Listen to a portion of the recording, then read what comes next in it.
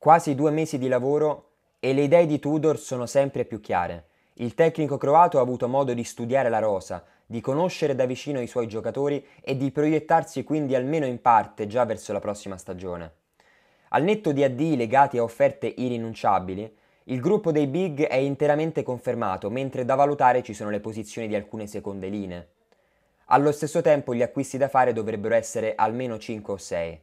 Partendo dalla difesa, pur con le difficoltà di adattamento al nuovo modulo, è destinato a rimanere Romagnoli, così come Patrick e Ghila.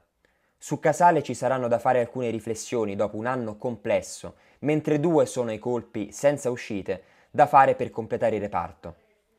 Tante sono invece le incognite a centrocampo, e non solo per il destino in bilico dei due titolari.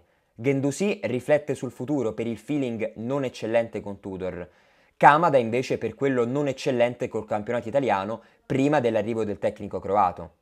Vesino ha tutte le caratteristiche necessarie.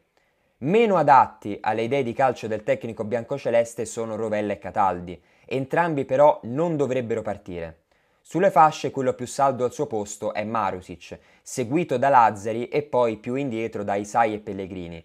Infine, in attacco è certo del posto Castellanos, così come immobile al netto di sue decisioni diverse e per ora scongiurate.